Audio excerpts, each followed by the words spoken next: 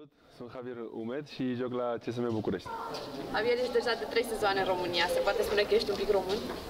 Da, e, bine, eu sunt spaniol, dar să zicem că m-am obișnuit la, în România și sunt fericit și mă simt bine. Dacă ți s-ar propune, ai juca pentru România? M-aș gândi dacă s-ar propune. Care este punctul fort al echipei noastre CSM București?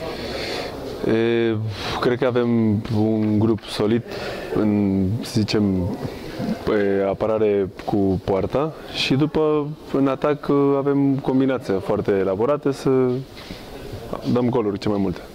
Putem câștiga titlul anul ăsta? Doamne ajută! Eu sper că da.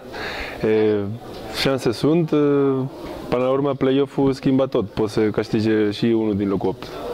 Care crezi tu că este cel mai puternic adversar, cea mai puternică echipă din Liga Națională? Păi acum, dacă te uiți pe clasamente, clar, e Dinamo.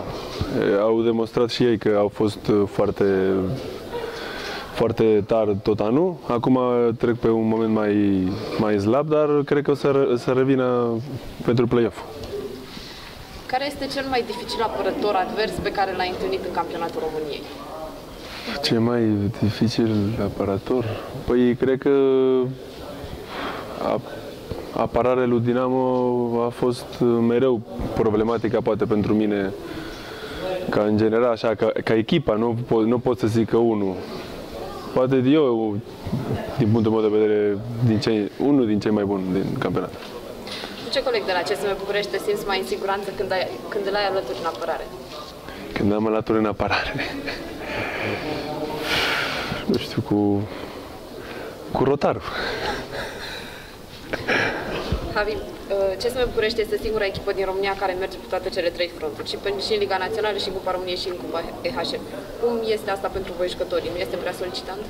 Este, dar până la urmă e bine. Înseamnă că suntem bine, că suntem viu în, în toate competiție și cred că e foarte greu să ții nivelul aia, câteodată scăzi, pierzi un punct aici, acolo, că e foarte greu să te ții de fiecare meci, jucăm miercuri, sâmbătă și dar asta e ce mai frumos, să ții peste tot până la sfârșit. Cum vezi meciul cu Helvețiana E, să fie un meci greu, 100%, că au demonstrat el că joacă bine peste tot, a jucat bine și în Chambéry și o să fie greu, dar noi trebuie să avem încredere în noi să, să încercăm să câștigăm.